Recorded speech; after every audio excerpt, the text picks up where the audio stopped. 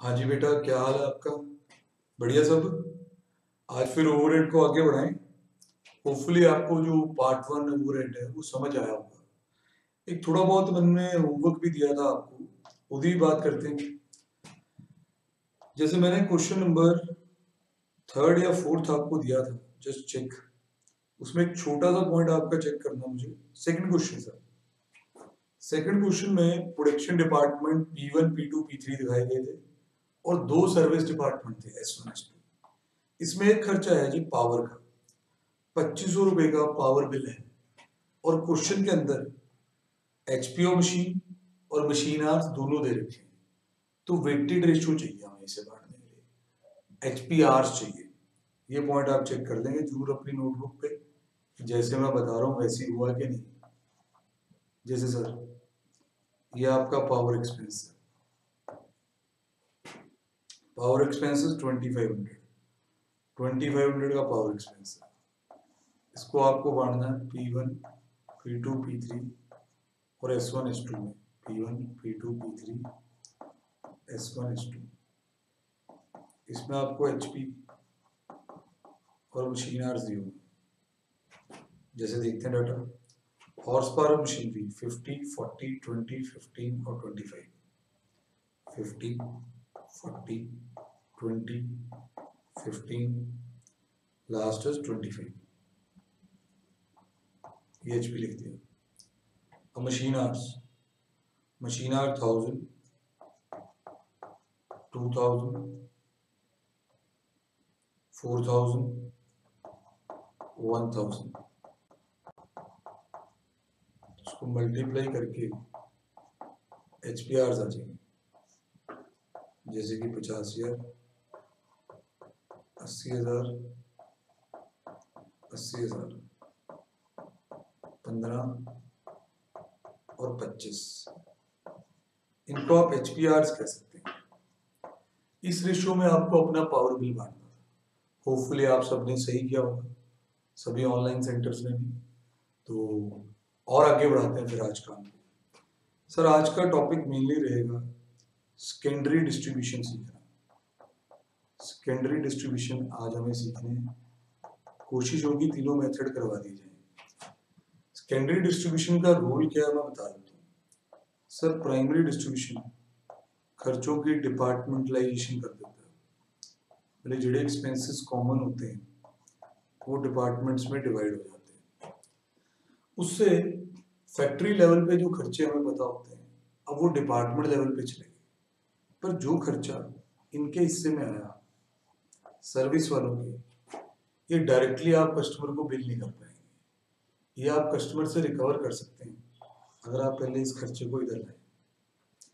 मतलब कि आपको ये समझना ना, अब मैंने प्रोडक्ट के ओवर ओवरहेड निकालते हुए प्रोडक्शन डिपार्टमेंट के ओवरहेड तो उसमें डाल दिए। अब सर्विस डिपार्टमेंट जो कोई प्रोडक्ट ही नहीं बनाता, वो सिर्फ़ इसलिए वो प्रोडक्शन को हेल्प करता है। उसके लिए सप्लाईज अवेलेबल करता है, उसके लिए रिक्रूटमेंट्स करता है, उसके लिए रिपेयर मेंटेनेंस देखता है। ऐसा डिपार्टमेंट कोई प्रोडक्ट नहीं बनाता, पर ध्यान से देखें प्रोडक्ट बनाने में पार्टिसिपेट तो करता है। तो इसके हिस्से में जो भी खर्चा आया, वो भी हम प्रोडक्शन में ही डालते हैं कि भाई, अब प्रोडक्शन कस्टमर के थ्रू में ये खर्चा रिकवर करवा के दे। तो इस काम को सेकेंडरी डिस्ट्रीब्यूशन कहते हैं। इसके तीन मेथड होते हैं। पहला होता है direct distribution method. Direct distribution method में हम सर्विस डिपार्टमेंट की कॉस्ट को डायरेक्टली प्रोडक्शन डिपार्टमेंट्स में बांट देते हैं। मतलब अगर मेरे पास P1, P2, P3 तीन प्रोडक्शन और S1, S2 दो सर्विस है तो S1 भी अपना खर्चा इन तीनों में डाल देगा। और एस टू भी अपना खर्चा इन तीनों में डाल देगा। तो बच्चे सोचते हैं कि सर, फिर और होना भी क्या चाहिए? इसमें डायरेक्ट लिखने की क्या बात है? ये तो है ही डायरेक्ट सर, यही तो बात है। सिर्फ़ यही एक मेथड इस मेथड का क्रिटिसिज्म इस एंगल से किया जाता है कि क्या एक सर्विस दूसरे को सर्विस नहीं दे सकता? सर, बिल्कुल दे सकता है। Repair maintenance department H department की अगर कोई दिक्कत आएगी इलेक्ट्रिसिटी की कंप्यूटर की अटेंड करने तो जाएगा। यहीं एच वाले टेक्नीशियंस रिपेयरमैन ये सब रिक्रूट भी करेंगे। बिल्कुल। तो सर्विसेज़ तो आपस में होती हैं।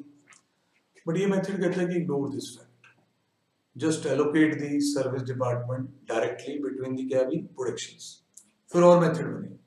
जिन्होंने इस फैक्ट को इग्नोर नहीं किया और काम को और कॉम्प्लिकेट कट कर दिया हमारे लिए। उनकी बात बाद में होगी बेटा। पहले डायरेक्ट डिस्ट्रीब्यूशन आप दोबारा समझ लें। डायरेक्ट डिस्ट्रीब्यूशन मेथड में आपने सर्विस डिपार्टमेंट की कॉस्ट डायरेक्टली किसमें बांट देनी है? सर प्रोडक्शन डिपार्टमेंट में। एक सर्विस दूसरे को सर्विस दे रहा होगा, मैं मानता हूँ बात, पर डायरेक्ट मेथड इस चीज़ को इग्नोर करता है डिसरिगार्ड करता है। डायरेक्टली सर्विस की कॉस्ट प्रोडक्शन ठीक? इधर एक छोटा सा एग्जांपल या क्वेश्चन कर लिया जाए, अभी क्या ताकि बात क्लियर हो जाए, पक्की हो जाए।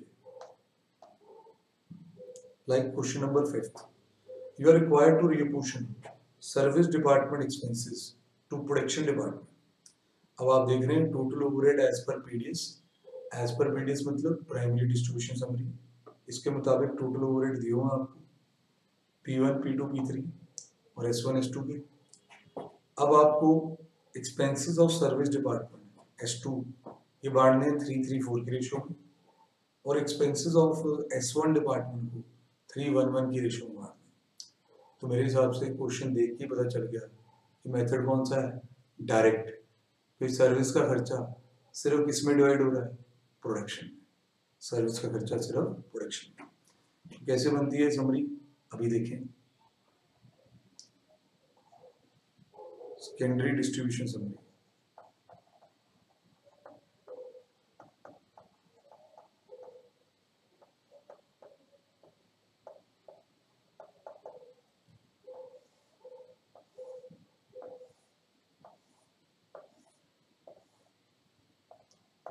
P1, P2, P3, S1, S2 पहले हम लिखेंगे total overheads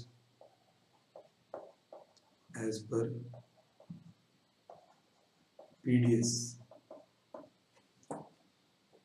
तो क्वेश्चन के अंदर क्वेश्चन फाइव में ये ओवरहेड्स आपको जितने जितने दिए हुए हैं ये यहाँ लिख लें।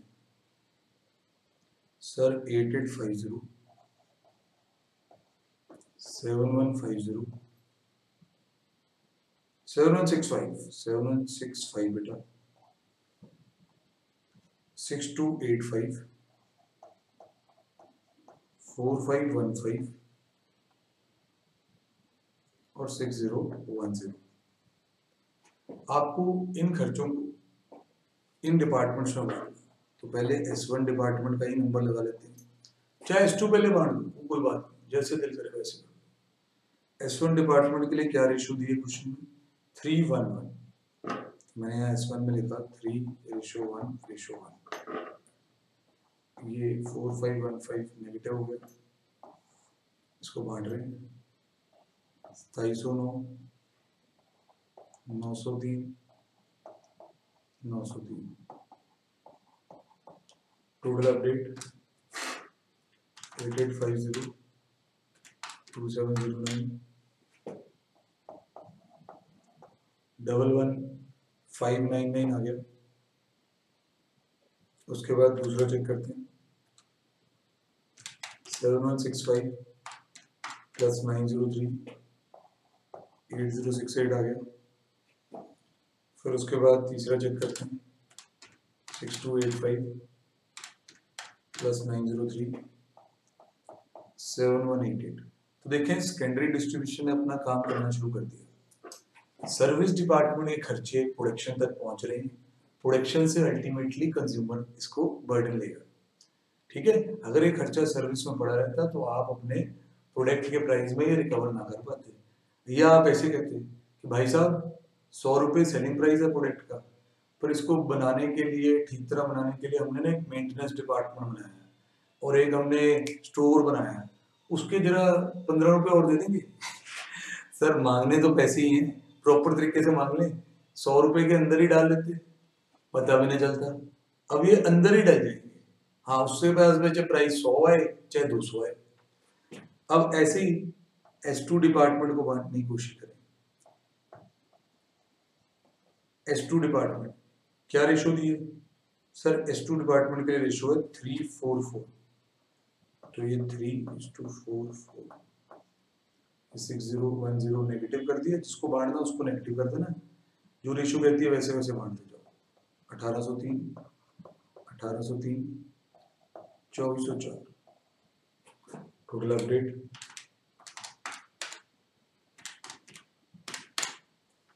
तो पहले डिपार्टमेंट का टोटल इतना आ रहा है। इसको जरा चेक भी करें, कि बार कोई कैलकुलेशन एरर हो जाती है। नहीं सर अभी तो नहीं हुई है। पी वन का टोटल यही है। ठीक? बाकी डिपार्टमेंट्स की भी टोटलिंग कर देते हैं। एट ज़ीरो सिक्स एट अठारह सौ तीन, nine eight seven one seven one eight eight, चौबीस सौ चार, नाइन फाइव नाइन टू। यहाँ मिल, यहाँ भी अब मिल। ये देखो at the end of secondary distribution summary आपके ओवरहेड सिर्फ़ और सिर्फ़ प्रोडक्शन डिपार्टमेंट में दिख रहे हैं। देखो, काफ़ी लंबा सफ़र है इनका। पहले खर्चे पता किए जाते हैं फैक्ट्री लेवल पे फिर बांटे जाते हैं हिस्से किए जाते हैं प्रोडक्शन और सर्विसेज़ में, जिसे हम प्राइमरी कहते हैं। फिर सेकेंडरी सीखा सेकेंडरी इन खर्चों को प्रोडक्शन तक ले आया। ठीक? अब ये कौन सा मेथड था? रिवाइज करो मेरे साथ। सर ये डायरेक्ट डिस्ट्रीब्यूशन मेथड था। इसमें सर्विस डिपार्टमेंट की कॉस्ट डायरेक्टली प्रोडक्शन डिपार्टमेंट्स को दी जाती है। सर्विस टू सर्विस किसी तरह की कोई एलोकेशन नहीं की जाती। ठीक है बात? अब अगला सीखिए sir next is step distribution method step distribution method step distribution method इस मेथड में जो सबसे बड़ा सर्विस प्रोवाइडर होता है, उस डिपार्टमेंट को सबसे पहले बांटा जाता है। Between the all other departments all other मतलब कि सर्विस अगर होगा तो सर्विस को भी शेयर देगा। कहानी कुछ इस प्रकार है, ऐसी। P one P two P three मान लो तीन department S one S two S three service वाले। अब सबसे बड़ा सर्विस प्रोवाइडर ढूंढना होगा। मतलब कुछ एज अ डिपार्टमेंट ढूंढना होगा, जिसकी सर्विस की ज़रूरत सबको पड़ी, जिसकी सर्विस सबने अवेल की। मान लो एस टू प्रूव हो जाता है कि वो रैंक वन है सर्विसेज़ देने के मामले में। तो जब एस टू के हिस्से होंगे तो हिस्सा P one P two P three S one और एस थ्री को आएगा अब आप देख रहे हैं कि स्टेप डिस्ट्रीब्यूशन में सर्विस का हिस्सा सर्विस में भी है। अब रैंक टू मान लो एस थ्री डिपार्टमेंट का अब जब आप एस थ्री के हिस्से करेंगे तो ध्यान से P one P two P three को तो हिस्सा आएगा एस वन को भी आएगा? एस टू को नहीं, क्योंकि वो पहले से ही डिवाइड हो चुका है। तो रेसिप्रोकल नहीं करना है कि एस टू ने एस वन एस टू ने एस थ्री को हिस्सा दिया तो आप एस थ्री से एस टू को भी हिस्सा दिलवाए ना रेसिप्रोकल करना है तो अगले मेथड की वेट करनी है, वो रेसिप्रोकल है। स्टेप कहता है सबसे बड़ा खिलाड़ी पहले, फिर सेकंड खिलाड़ी, फिर अब ऑब्वियस है कि थर्ड रैंक तो बेचारे एस थ्री का ही होगा। इसके जब हिस्से होंगे तो सिर्फ़ तीन ही हिस्से होंगे। Between the production department P one P two P three ठीक है? तो इस तरीके से स्टेप चलेगा। अब सर स्टेप में बच्चा पूछता है कि सर, मुझे कैसे पता चलेगा कि सबसे बड़ा खिलाड़ी कौन है? खिलाड़ी इन देंस सबसे ज़्यादा सर्विसेबल जिसने सबसे ज़्यादा सर्विस दी है लोगों को। सर नॉर्मल क्वेश्चन में तो क्वेश्चन बता देंगे। जब आईसीआई बाबा क्वेश्चन बनाएँगे तो दिमाग लगाना पड़ेगा। तोड़ सब चीज़ों का। हो जाएगा। नॉर्मल क्वेश्चन देखिए। नॉर्मल क्वेश्चन क्वेश्चन नंबर छ company has two production department P1 and P2 and three service department time keeping store and maintenance दो प्रोडक्शन डिपार्टमेंट है जी P1 एंड P2 तीन सर्विस है time, store and maintenance. Timekeeping is the rendering service to two production department and two other service department तो time keeping वाले दो production और दो सर्विस टोटल चार डिपार्टमेंट को सर्विस दे रहे हैं। Store is rendering service to maintenance department along with the production store वाले मेंटेनेंस डिपार्टमेंट को सर्विस दे रहे हैं along with the production whereas maintenance is rendering service only to production तो सबसे बड़ा खिलाड़ी आपको कौन लगा इसमें? सर ऑब्वियस है टाइम कीपिंग टाइम कीपिंग दो प्रोडक्शन और दो सर्विस संभालना। स्टोर मेंटेनेंस डिपार्टमेंट और प्रोडक्शन डिपार्टमेंट्स को संभालना। मतलब तीन maintenance is only giving service to production departments तो बेसिकली सिर्फ़ दो। मतलब सबसे बड़ा खिलाड़ी कौन? टाइम कीपिंग डिपार्टमेंट फिर कौन? स्टोर फिर कौन? मेंटेनेंस अब सर आप बांटोगे कैसे? सर ये अगला सवाल है। अब data total overhead as per PDS का दिया हुआ। मतलब प्राइमरी के हिसाब से खर्चे दिए हुआ आपको। P one P two S one S two S three information दे रखी है नीचे। Number of employee number of store acquisition machine hours तो आप लोगों को जब इन डिपार्टमेंट्स को बांटना है, आप लोगों को जब इन डिपार्टमेंट्स को बांटना है तो आपको बेस की भी ज़रूरत पड़ेगी कैसे बांटें। तो टाइम कीपिंग को बांटने के लिए सबसे ऑप्टिमम बेस है number of employees time keeping वगैरह अटेंडेंस पे रोल इस तरह के रिकॉर्ड्स रखते हैं। और आपके एम्प्लॉयज़ एक बहुत ही बढ़िया तरीका है कि जहाँ ज़्यादा एम्प्लॉय वहाँ ज़्यादा time keeping service stores stores के लिए स्टोर रिक्विजिशन दी अब स्टोर रिक्विजिशन क्या होता है वो आपको याद होगा मटेरियल के चैप्टर में। एक रिक्वेस्ट फॉर्म होता है। जिसमें हम स्टोर्स को कहते हैं कि भाई हमें मटेरियल इशू कर दो, हमें मटेरियल इशू कर दो। अब जिसने स्टोर की सर्विस ज़्यादा अवेल की है, ज़्यादा उसे तंग किया बार बार रिक्वेस्ट करके, उसको ज़्यादा हिस्सा दे देंगे। फिर उसके मेंटेनेंस डिपार्टमेंट की बारी आएगी सर, इसे कैसे बांटो सर, इसे बांट दूँ बाहर से मेंटेनेंस करवाओ तो वैल्यू मशीन है। रिपेयर मेंटेनेंस बाहर से मार्केट से। इन हाउस मेंटेनेंस डिपार्टमेंट बना दो। तो वर्कर जो वहाँ रखे हैं टेक्नीशियन जो वहाँ रखे हैं, उन्हें सैलरी तो वही जानी है। तो बांटने के लिए बेस मशीन हार होता है।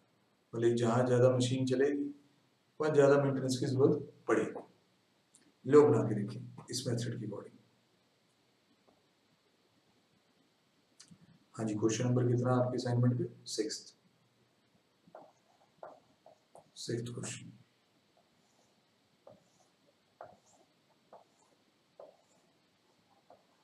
P one P two फिर S one S two S three तो प्रोडक्शन और सर्विस हमने लिख लिया अब इनके टोटल ओवरहेड लिखेंगे पीडीएस के according total overhead as per PDS सोलह हज़ार दस हज़ार, चार हज़ार, पाँच हज़ार, तीन हज़ार। हम्म तो आपको इनके एक्चुअल नाम भी पता होने चाहिए कि जो एस वन है, वो टाइम कीपिंग वाले एस टू स्टोर वाले और एस थ्री जो है मेंटेनेंस वाले और सवाल स्टेप डिस्ट्रीब्यूशन से क्यों होने लगा? कि सवाल का जो बेसिक डाटा था, वो ये शो करता था कि इन्होंने एक बराबर सर्विसेज़ नहीं दी time keeping is rendering service to production and to service four departments whereas to maintenance और प्रोडक्शन मेंटेनेंस ओनली प्रोडक्शन तो बांटना शुरू करते हैं। जैसे सबसे पहले हमें एस वन डिपार्टमेंट बांटना एस वन डिपार्टमेंट के चार हज़ार नेगेटिव कर दिए। इसको नंबर ऑफ़ एम्प्लॉयज़ के रेशो मारना आपने। अब एम्प्लॉय लिखते हुए बंदा बहुत स्कीमी है। इसने एम्प्लॉयज़ को आगे पीछे कर रखा जैसे आपको जो रेशो बनानी है, वो P one ratio P two S two S three ऐसी रेशो चाहिए। तो that is P one forty thirty twenty fitting तो यहाँ सोलह सौ, यहाँ बारह सौ, यहाँ आठ सौ, यहाँ चार सौ। इतना इतना एस वन को बांट के आएगा। पहले डिपार्टमेंट सतारह हज़ार छः सौ, अगले में ग्यारह हज़ार दो सौ, फिर नील फिर इतना फिर इतना। ये एस वन डिपार्टमेंट की एलोकेशन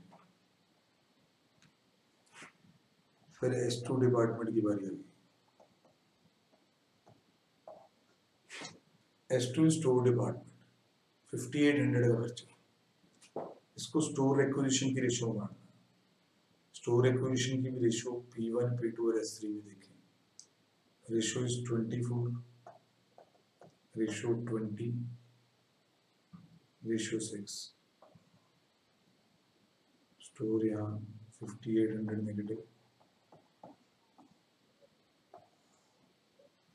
और fifty eight hundred negative store में, आप कैसे बांटेंगे?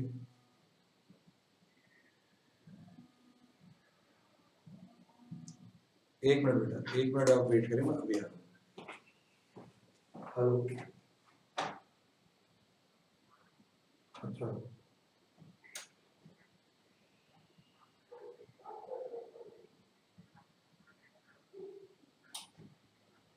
ठीक है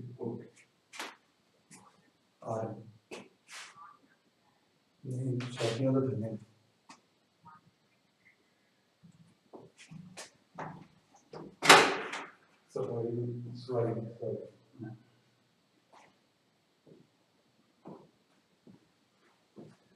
ठीक है बेटा, इस पार्ट में हम इतना ही कर पाएँगे।